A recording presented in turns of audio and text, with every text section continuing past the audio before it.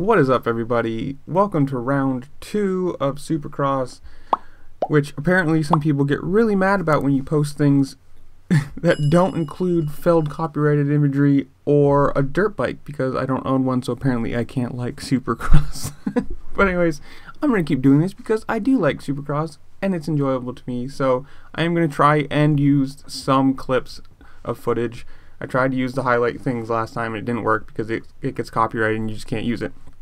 So I'm going to try using shorter clips this time. And maybe that'll appease some of the internet people. But um, the 250 class, obviously, not much really to talk about this. Uh, Christian Craig got super far ahead.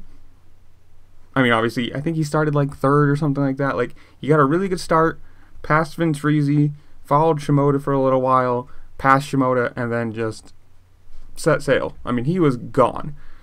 He just looks like he's way out of everyone's league this this year. As long as he stays healthy, um, you know, Swole might come back and might be another you know rider to give him a little bit of a competition for. But you know, no Colt Nichols, and it looks like he has this 250 West wrapped up already. I mean, two out of five or two out of seven races, something they do, something like that. I mean, the, the only really big things that happened in this race are one, Shimoda doing a almost full front flip, which I'm going to try and include the clip here. Um, Shimoda crashing or stalling his bike in the whoops, and Mosiman crashing. I guess Mumford crashed too, but otherwise nothing really happened in the 250 race. It was just pretty pretty bland. Uh, you know, of all things considered, you know, obviously it's 250s. You don't really have the same amount of class or same amount of like depth of class that you do in the 450s, but this is where the 450s really, really started showing today. You had Ken Roczen smash his face into the whoop in qualifying, which I'm going to try and include this clip. Um, you had his teammate run over his head, and he showed his his uh, helmet on Instagram, and it was pretty well broken. Like it, it took a beating.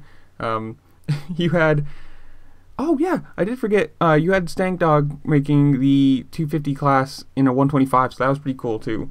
Uh, in this, the 450s again, Adam Cianciarulo showed some hilariously good speed. Um, if once his shoulders heal, like if it actually does get to 100% this year, he's going to be a competitor because he has so much speed.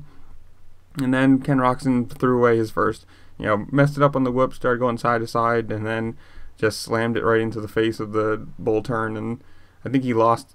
I don't even know. It was like first to like 15th or 16th, something like that, and he just never, never caught back up. I mean, never got back up to speed. Probably might have been still a little bit of hurt from the qualifying crash, and then, well, the story of the night: Jason Anderson with his first win in like I don't even know how many days, whatever they said. It was like since 2018, so it's pretty good. I mean, it's showing that like he still has speed. Obviously, moving to a different bike, changing teams, changing you know trainers and mechanics and full bike, everything like that, brands.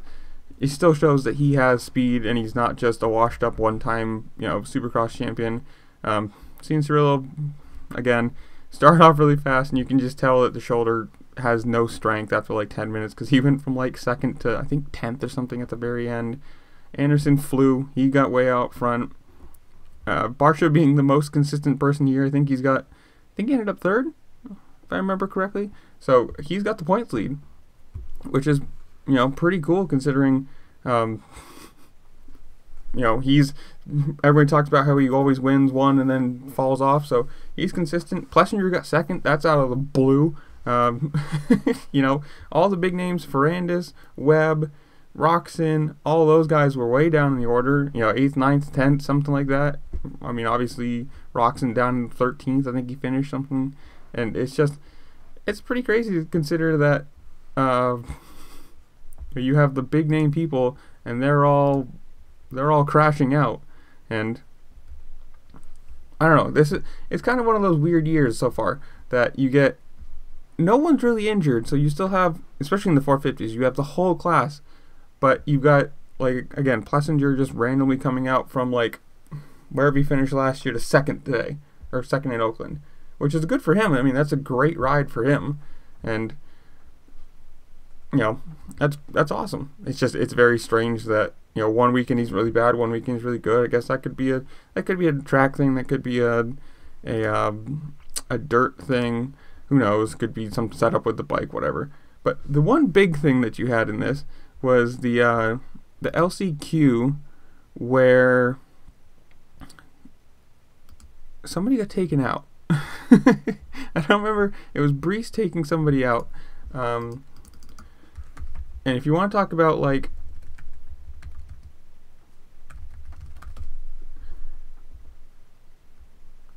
yeah, he took out. Oh yeah, Ryan Breece took out, or I think his name's Ryan or Brian, whatever, took out Enticknap, and it was a full-on clear out. Like if you watch the the highlights for it, you know Enticknap kind of kind of hit him hard on a couple corners before, and then he just said, "Nope, screw you." but apparently, um, apparently he had he had no uh, rear brake or something like that. He had no rear brake, and apparently from the fact that that uh, hit him a couple corners before, and he just straight up said, "Nope, you're gone." So. I don't know. Tell me, you think? Do you think that Barcia is going to continue this this run of being consistent?